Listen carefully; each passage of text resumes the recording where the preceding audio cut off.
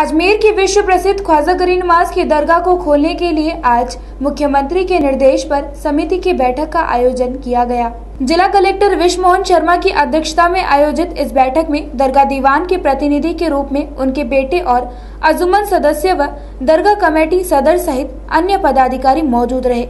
जिसमें विचार विमर्श करते हुए विभिन्न मुद्दों पर चर्चा की गई। दरगाह कमेटी अमीन पठान ने बताया कि मुख्यमंत्री के निर्देश पर कमेटी का गठन कर बैठक का आयोजन किया गया है, जिसमें आज गरीब नवाज़ के दरबार को खोलने के बाद किस तरह से व्यवस्थाएँ करनी है, इस पर विचार किया गया। विश्व प्रसिद्ध दरगाह ने देश विदेश से बड़ी संख्या में लोग पहुँचते हैं। ऐसे में सोशल डिस्टेंसिंग की पालना के साथ ही होटल व गेस्ट हाउस में रुकते समय तमाम सुरक्षा पहलुओं को ध्यान में रखा जाए। यात्रियों को महामारी की जानकारी देते हुए उन्हें तमाम सुरक्षा इंतजामों की जानकारी दी जाएगी, जिससे कि वह धार्मिक आस्थाओं को ध्यान में रखते हुए अपनी सुरक्षा का भी ध्यान रखें और इस महामारी को खत्म कर फिर से तमाम व्यवस्थाएँ शुरू हो सके। जी, आज जो मुख्यमंत्री जी ने जो वीसी की थी, उसके बाद ये तय हुआ था कि अभी लॉकडाउन नहीं हटाया जाए, धार्मिक स्थानों को अभी बंद रखा जाए। तो उसी को लोग लेके आज जो सरकार का एक जो है एक सर्कुलर आया था तो उस पर आज कलेक्टर महोदय की अध्यक्षता में मीटिंग हुई और उसमें ये आज कहा गया है कि हम लोग जो दरगाह कमेटी से जो जुड़े हुए लोग हैं दरगाह से जो जुड़े हुए हैं, अंजुमन जो है और खुदाम हजरात है और दरगाह कमेटी की तरफ़ से हम लोग भी आए तो हम ये तय करेंगे कि जो जायरीन आएँगे, उनको जब वो दरगाह के अंदर जाएँ तो उनकी समझाइश हो सोशल डिस्टेंसिंग का ख्याल रखा जाए मास्क लगाया जाए तो उसके लिए एक प्लान और एक पूरी एक रूपरेखा तैयार करी जाए। तो फिर दोबारा एक मीटिंग होगी जिसके अंदर हम लोग सब बैठ के जो दरगाह से जुड़े हुए जो लोग हैं अंजुमन है खुदाम हजरात है, दरगाह कमेटी है, ये सब लोग मिल के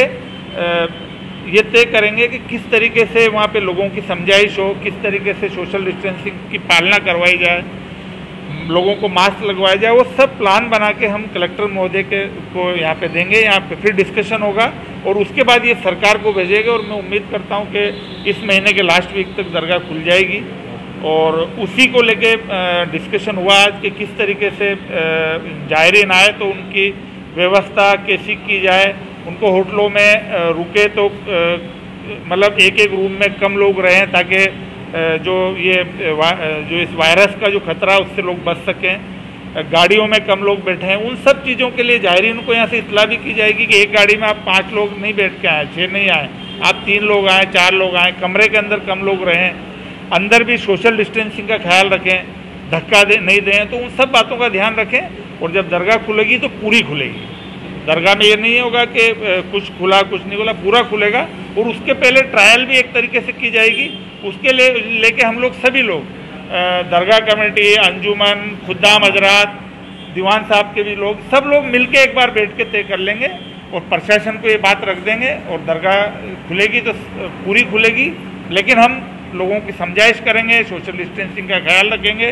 ताकि यहाँ से कोई ऐसी बात नहीं हो कि लोगों को पूरी दुनिया की निगाह ख्वाजा गरीब नवाज़ की दरगाह के ऊपर है। तो हम यहाँ के तमाम खुदा मजरा और हम सब लोगों की ये ज़िम्मेदारी बनने की हम लोगों की समझाइश करें और सब लोग यहाँ पे आए, ख्वाजा साहब का सबको फैज मिले और हमारे मुल्क से ये जो कोरोना है, ये ख़त्म हो जाए।